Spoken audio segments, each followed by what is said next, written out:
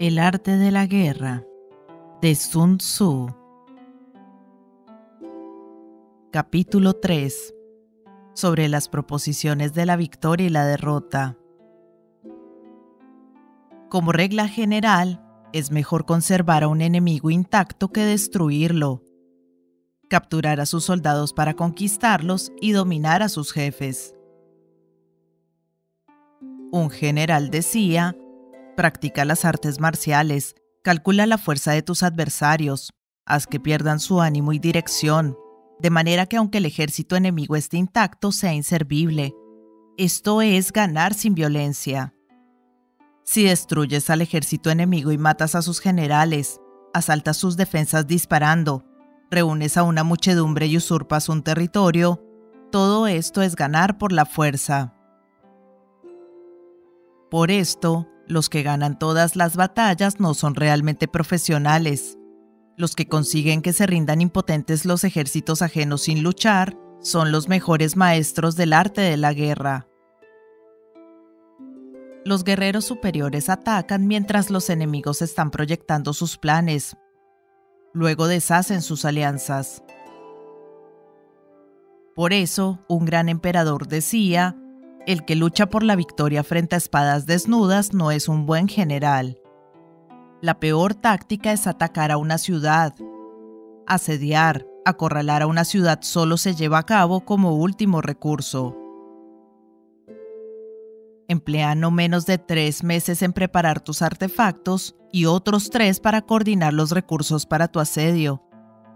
Nunca se debe atacar por cólera y con prisas es aconsejable tomarse tiempo en la planificación y coordinación del plan.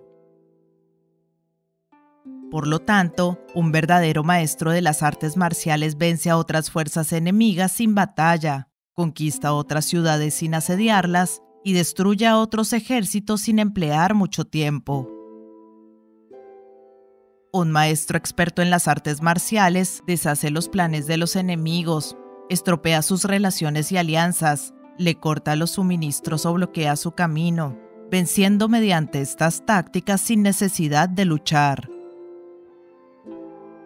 Es imprescindible luchar contra todas las facciones enemigas para obtener una victoria completa, de manera que su ejército no quede acuartelado y el beneficio sea total. Esta es la ley del asedio estratégico. La victoria completa se produce cuando el ejército no lucha, la ciudad no es asediada, la destrucción no se prolonga durante mucho tiempo y en cada caso el enemigo es vencido por el empleo de la estrategia.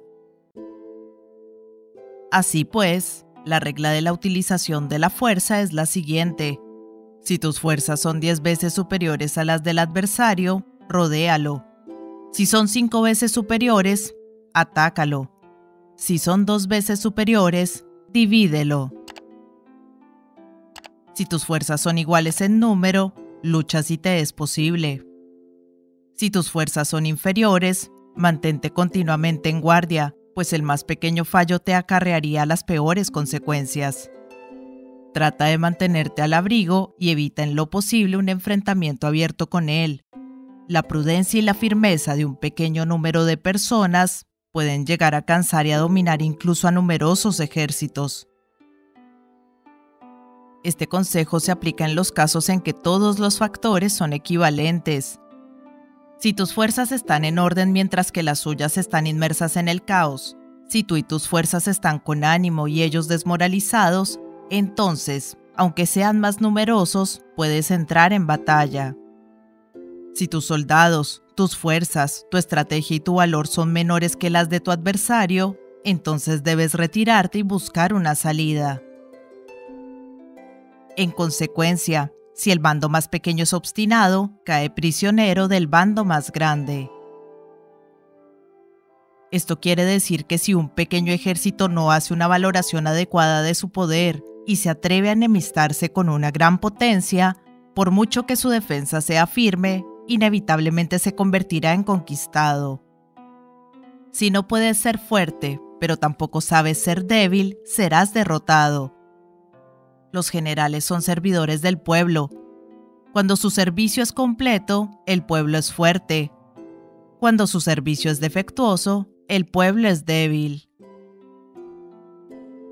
Así pues, existen tres maneras en las que un príncipe lleva al ejército al desastre. Cuando un príncipe, ignorando los hechos, ordena avanzar a sus ejércitos o retirarse cuando no deben hacerlo, a esto se le llama inmovilizar al ejército. Cuando un príncipe ignora los asuntos militares, pero comparte en pie de igualdad el mando del ejército, los soldados acaban confusos.